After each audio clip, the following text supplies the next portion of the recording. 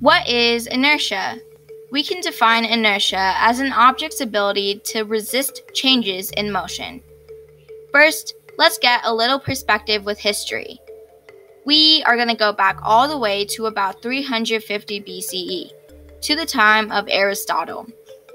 Now, Aristotle was an ancient Greek philosopher.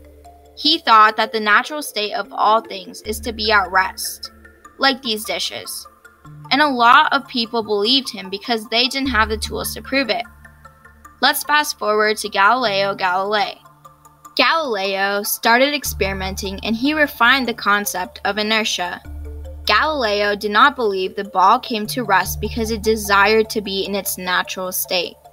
The theory of inertia says that an object's inertia will maintain its state of motion. So he was saying that the ball should roll on forever. Cue Sir Isaac Newton. Newton tested and proved Galileo's theory. He also thought that the ball should roll on forever, but it stops due to friction. Newton then came up with his first law of motion, or the law of inertia, which states an object at rest stays at rest, and an object in motion stays in motion unless acted upon by an unbalanced force. We talked a little about this in our experiment Falling Orange.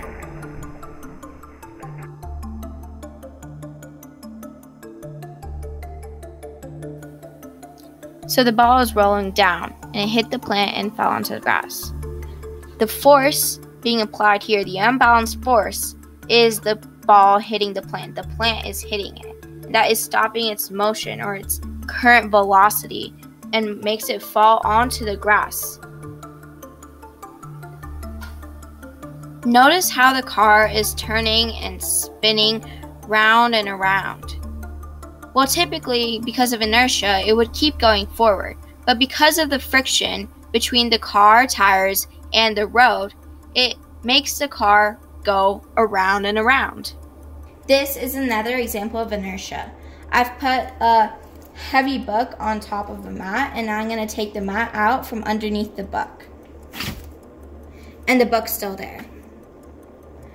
Um, I have filled a glass with halfway with water and um, I'm going to take this piece of paper, I'm going to place it on top.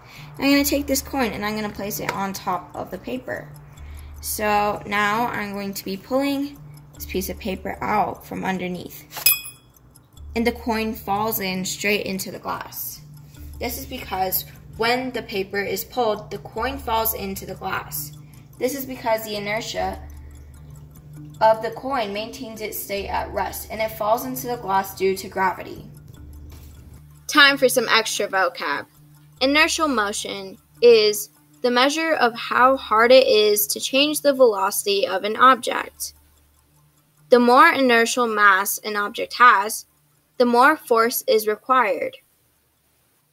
To understand inertial mass, I'm going to be using a shopping cart as an example. The lighter a shopping cart is, it is easier to push. But the heavier it is, it's more harder to push. If you like this video, please like, share, and subscribe.